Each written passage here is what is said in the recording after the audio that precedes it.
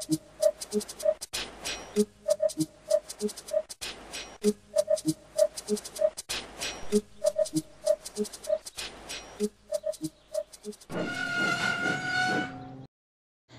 guys, did you find any Easter eggs here? Nope. Damn, where else in the line could it be hidden then? Should we tell them? Yes, I believe so. Percy, the Easter Bunny isn't real. What? What the fuck are you talking about? What do you think I was gonna tell him? The truth! That the Easter Bunny didn't come this year because of an encounter with Tom last year.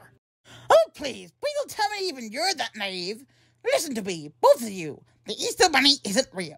He was invented by Cameron companies in order to boost profits after Valentine's they didn't generate enough. Thomas, uh, is this true? No, of course not. He's talking absolute bullshit. Come on, think of it logically. What this is being reborn have to do with a giant butt delivering chocolate eggs? They didn't even have chocolate then. Well, well uh, you're just upset because you eats my ate your dog when you were five. What dog? Don't try to change the subject because you're losing the argument, James. We're talking about the Bunny. Now you're trying to childhood. Well, come on, I never had a childhood. James, what am I telling you about changing the subject? I, I uh, guys, I have to go.